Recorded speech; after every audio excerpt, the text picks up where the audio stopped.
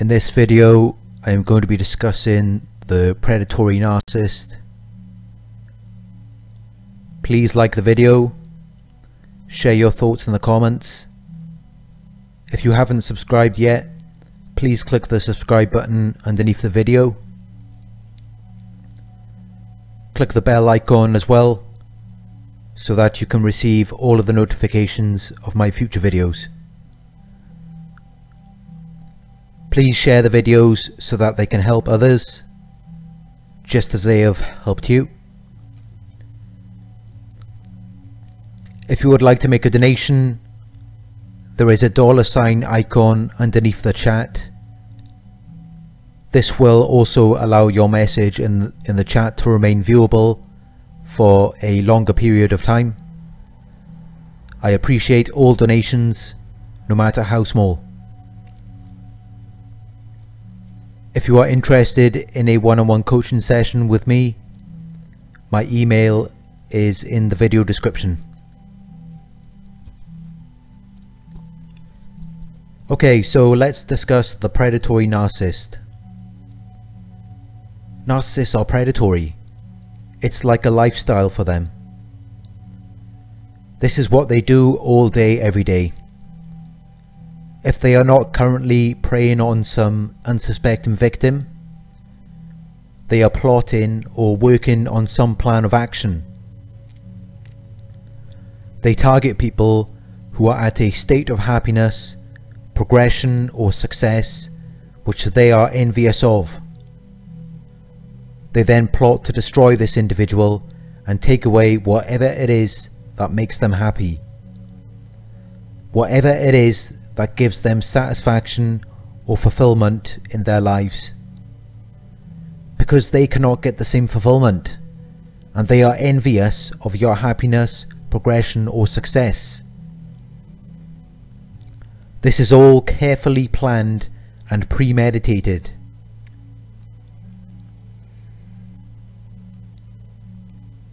What drew them to you in the beginning is what they will soon desire to take away or destroy. Whatever it is that attracted them to you originally, that is what they soon become envious of. So if you want to know what it is that they are envious of, pay attention to what they are trying to sabotage or prevent in your life.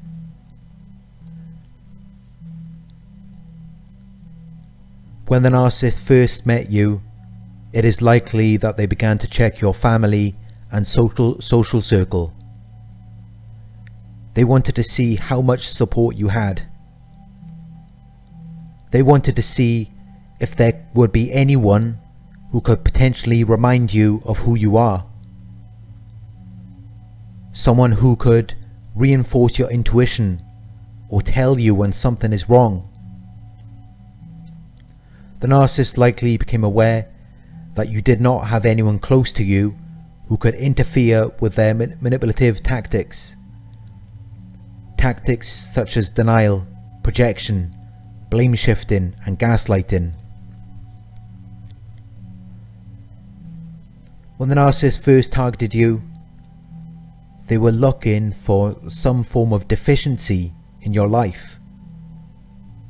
In the beginning, they may have created the illusion that they were giving you something of value, or they may have future faked and made you believe or trust in them and what they were saying or showing to you.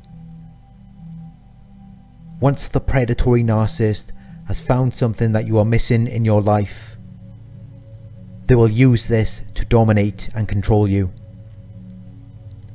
They will use this to keep you in the relationship so you cannot escape. Narcissists often choose victims who are struggling financially so that they can trap them in their web.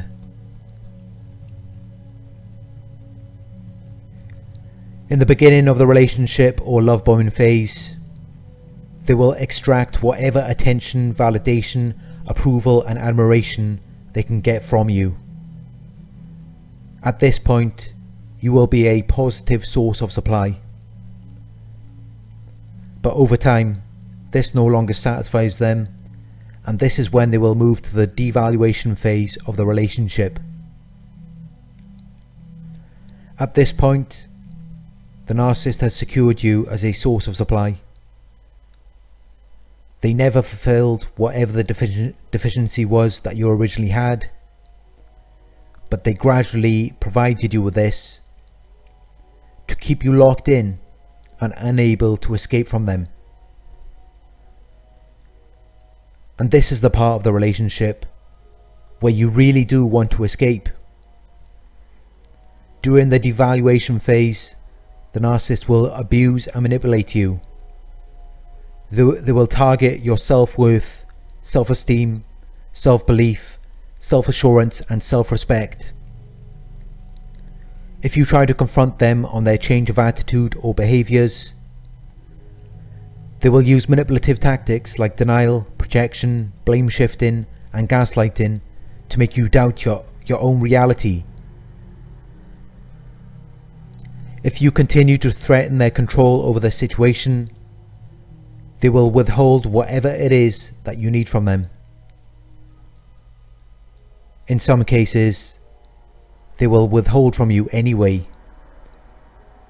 But they will future fake or create illusions and make you believe that if you continue to comply, one day they will reward you. When they targeted you in the beginning, they knew that you would that you would be the perfect target for their abuse. They knew that you would fall prey to their manipulative tactics. It's as though they had this predatory sixth sense which they used to detect who would be vulnerable to their games. They studied your family and social circle, so they knew that you had no one close to you who would provide you with support.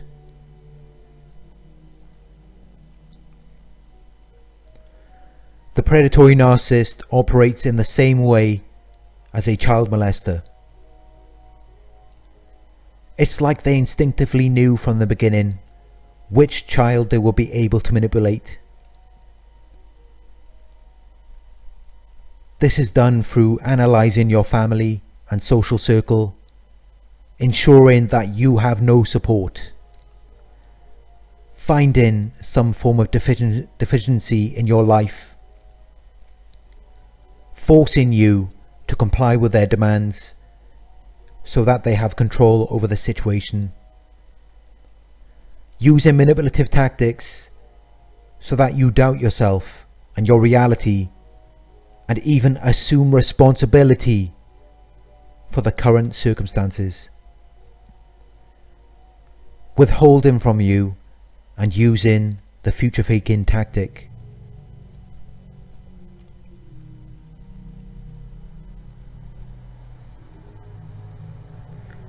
The child molester looks for a target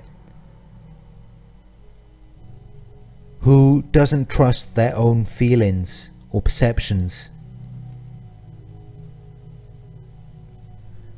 You may have been brought up in an environment where you had a certain feeling or perception and you were told that it was wrong even when it, it was correct. The narcissist instinctively knew that they will be able to invade your life and get you to doubt yourself and your reality. The child molester can instinctively spot loneliness in a child. They know when a child is not receiving attention from their parents. They know when the child is being neglected. The child molester has this instinct which is able to detect loneliness within the child. The predatory narcissist operates in the exact same way.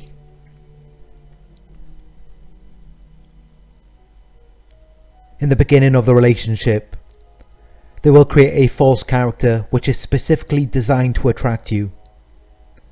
They will possess whatever traits you find attractive. This is the bait, designed to lure you into the abuse. like giving candy to a child. The predator, predatory narcissist knows exactly what they are doing. And for a short time, during the love bombing phase, the narcissist will give the illusion that they are going to fulfill your needs or requirements. Whatever it is that you desire from them, whatever deficiency it is that you had, which they then targeted. But over time, the illusion will fade away to reveal what they really are. The attention, validation, and admiration you once received in the beginning of the relationship will disappear. And this will be replaced with abuse and manipulation.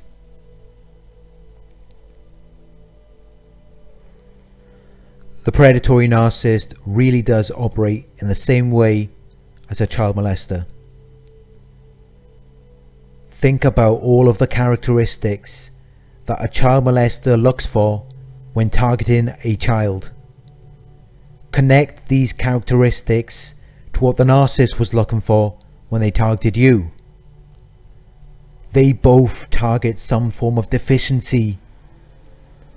Loneliness, isolation, insecurities, having no parents or friends to protect them. If you analyze your situation with a narcissist, you will be able to connect this to the child molester. The narcissist knew exactly what they were doing. They knew that you did not have the internal, external, or emotional resources to protect yourself and that you would fall prey to them.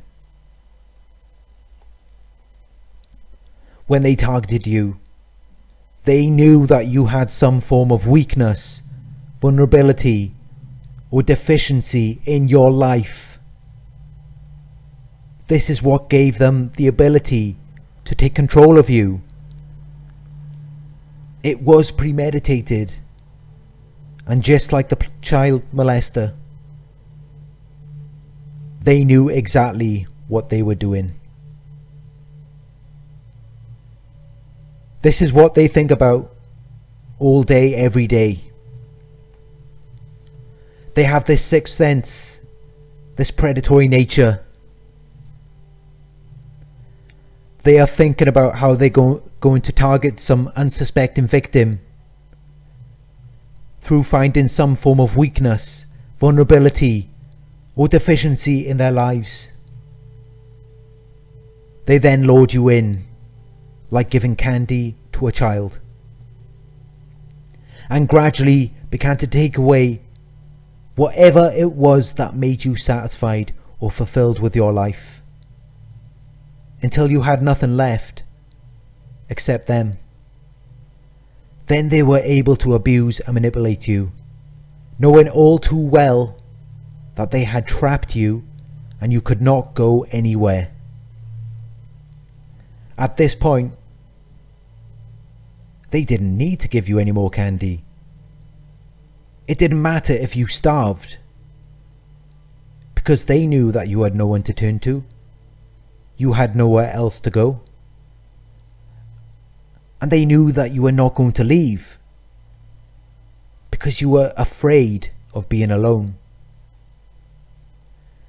You also held on to their future faking, believing that one day the false character they displayed to you in the beginning would come back. But just like the candy, just like everything else they displayed to you in the beginning, that was just designed to lure you into be abused, to be manipulated, and to have your reality distorted. Please protect yourself from these predatory narcissists. They do not have your best interest in mind. They only wish to control you and secure you, secure you as a source of supply. They do not care about your emotional needs. They are self-absorbed and lack empathy.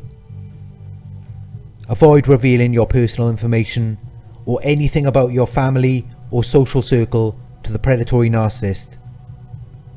Avoid revealing any form of vulnerability, weakness or deficiency. Like the child molester, they will make you believe that they can fulfill you in some way. But this isn't what they are really about. They have a hidden agenda. The child molester is not interested in giving the child attention or improving their lives. They just want to sexually abuse the child and provoke fear and shame within them. The predatory narcissist and the child molester operate in the exact same way, so please be aware of this. Thank you for watching, I hope this video has resonated with you. Please like, comment and share. Subscribe if you haven't subscribed yet, and I will talk to you soon.